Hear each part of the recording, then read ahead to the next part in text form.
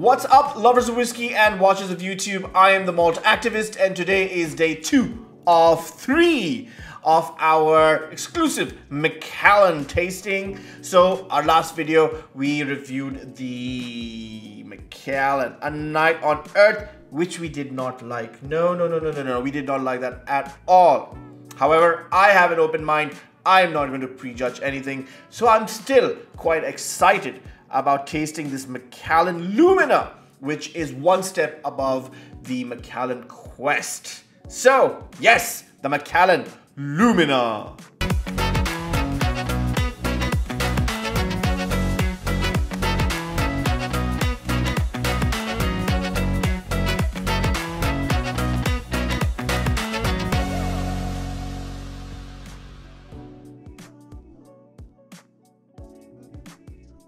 Before we begin, let me remind you of our awesome subscriber giveaway. We're giving away not one, not two, not three, but four Arran Quarter casks to four lucky winners as soon as we hit that magical number of 2,000 subscribers. So if you're not a subscriber and you're liking the content, hit that subscribe button, hit that like button, because every little thing helps. And who knows, you might win yourself a brand new bottle of my Whiskey of the Year 2021 the Arran Quartercask.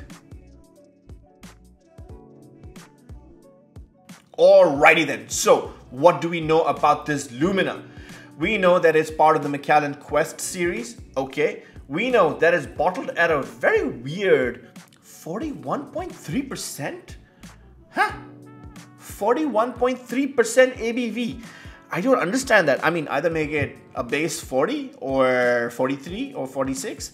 But just going 1.3% above the bare minimum, uh, I don't know.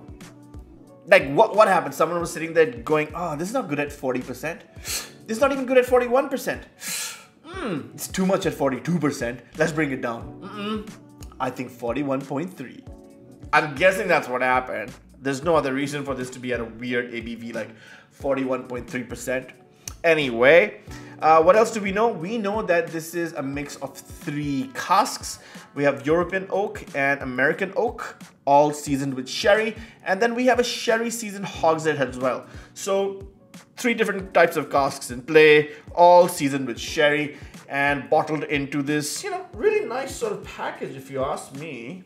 Quite like this packaging, you know, you know, very leafy, very green, very leafy, you know. Lots of, lots of text in the back. Yeah, I couldn't be bothered to read this. It's too much. It's, it's a bit blah, blah, blah. So we won't read that. Uh, but we know, we know, uh, we know uh, all there is to know about this whiskey. Uh, and it costs about a hundred pounds. It's quite a bit, isn't it? Well, I mean, people people are still buying this stuff, so I guess they can price it any way they like. So it is what it is, man. Can't you can't really fault them for that. If people are willing to pay the price, then it is what it is. Now I know we trashed the uh, the the last Macallan we drank, A Night on Earth in Scotland, and I think rightly so because it was really, really, really not nice, honestly. And and I'm the kind of person who's like, you know, I, I always have an open mind. I don't prejudge anything, and I'll drink it and I'll call it the way it is. So believe me when I tell you it wasn't nice. I swear, man, it really wasn't nice. With this one, now I've already poured myself a little dram and I've I've let it sit for about you know uh, five minutes or so. Letting it breathe. I have slightly higher hopes for this because this is supposed to be a step above from the quest. We've reviewed the Macallan quest. I'm gonna put up a link now uh, which we didn't like also. Uh, but maybe we uh, you know hate this less than we hate the quest. I don't know but we're gonna drink it first so, like I said, it's been sitting in the glass for a while and you know, like most Macallans, the nose isn't so bad, even if it's a bit generic. If you know what I mean, it's just like a generic Speyside Highland whiskey with, with sort of a very basic maturation process. And I expect more, you know, I expect more complex notes and flavors from, from Macallan. Uh, at least I used to, uh, but uh, I guess it is what it is. the nose isn't so bad. Even if it's not perfect, so we have we have honey, we have vanilla, we have some custard, we have heavy cream, we have some biscuits, we have some cinnamon. But right at the end, at the tail end, we have a hint of bitterness, which mm, I'm not, I'm not really like it. So while this nose is um, pleasant enough in a way, uh, in a way to be generic and sort of drunk casually, there is um, there is this telltale sign of ah, just that smidge of bitterness right at the end, which is giving me a bit of anxiety, if you ask me. So, do I hate the nose? No, I do not hate the nose. I wish it was a little more complex. It is a hundred pound whiskey. Uh, it is from Macallan, the Rolls Royce of whiskeys.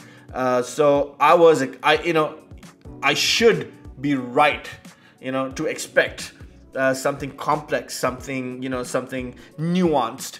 Uh, but no, what I'm going to get is a fairly generic run of the mill dram, at least as far as the nose is concerned. And so, to me, right now, that's an immediate disappointment, uh, but it's also not a huge surprise. Um, you know, so like I said, it is what it is. It's not really a bad nose, uh, but it's it's a nose.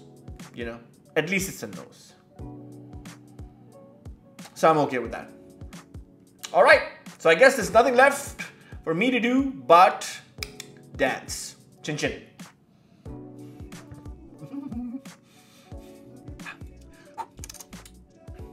You can see there's absolutely no grimace on my face because lack of flavors, I think, and a fairly weak 41.3% in my opinion.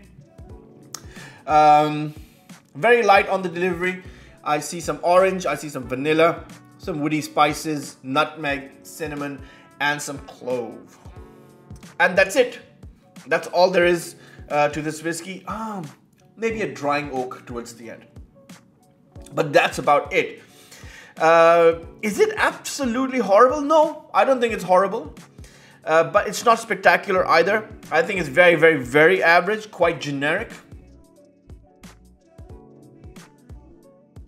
Am I absolutely disappointed? No. Uh, am I over the moon? No. It's one of those whiskeys that sort of make you completely indifferent. You know, if I was, if I if I was at a party and somebody just handed me this glass and I sort of drank it, I wouldn't turn around and say, "Ooh, what whiskey is this? I just keep on drinking it and then I'd forget about it. And then I'd go drink something else and I'd completely forget about this whiskey. And so that's what it is, you know. Um, the strange thing is, you know, when I went online, I uh, I saw a lot of a lot of reviews that really really praising this whiskey, and yeah, very thin, very thin. And I saw a lot of reviews praising this whiskey and you know saying good things about it. So I was like, well, you know, everybody can't be wrong.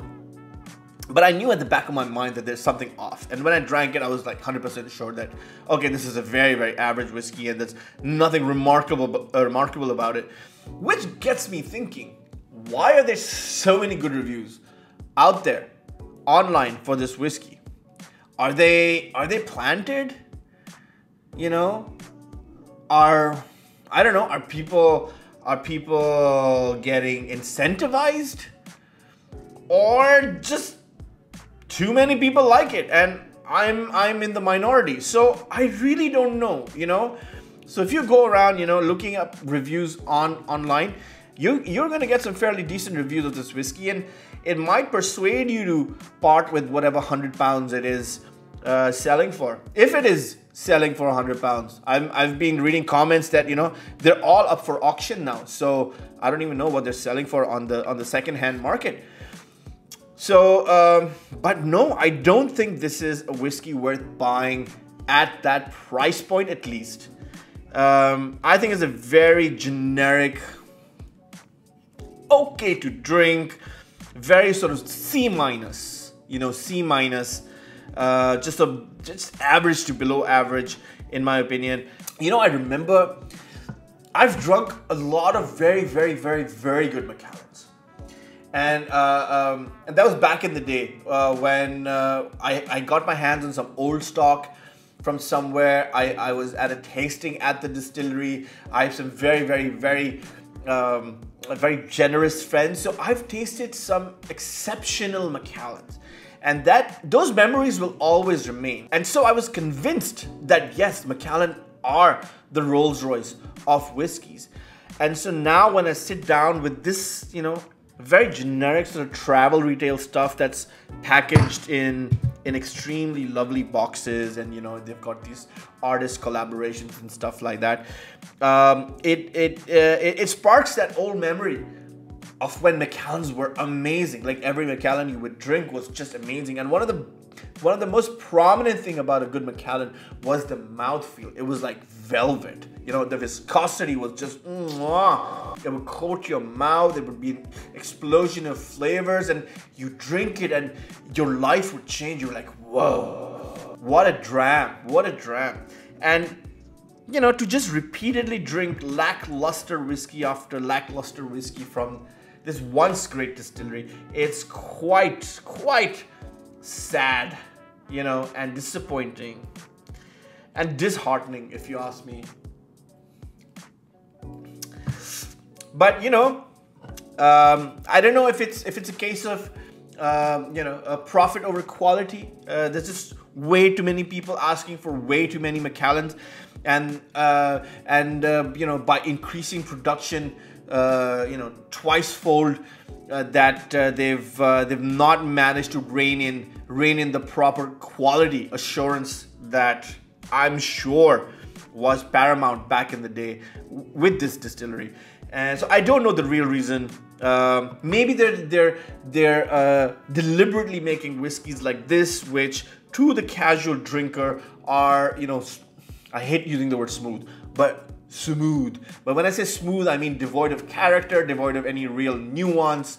And people just drink it and they think, yeah, oh, this is what, what a good single malt whiskey should be about. Uh, you know, easy to drink, smooth, smooth, smooth, uh, and uh, you know, I don't know maybe that's what it is. Maybe and it it seems to be working for them. You know, I'm in like the 0.001 percent of the of the population that is sitting down here and and you know poking holes in the fabric of this of this whiskey and just trying to trying to dissect it and analyze it and then you know uh, when i come up short i get disappointed but you know there's people out there who are like yeah, man, we like this whiskey, and there's nothing wrong with this whiskey, and we'll pay we'll pay hundred pounds for this whiskey. So you know, who the hell are you? Shut the hell up, bro. And so that's what I feel, which is a weird feeling to have. I don't know.